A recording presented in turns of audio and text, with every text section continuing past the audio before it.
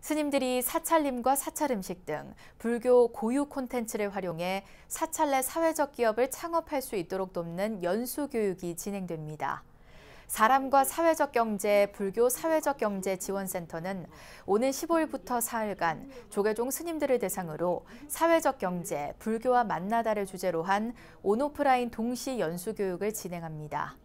이번 연수 교육에서는 실제 사회적 기업을 운영 중인 수월함 주지 해범 스님이 전하는 강의부터 마케팅과 스토리텔링 방법에 대한 전문가 컨설팅, 정부 지원 제도 활용 방안까지 다양한 프로그램이 제공됩니다. 정부와 민간 영역에서 이렇게 펀딩 받는 게 익숙치가 않아요.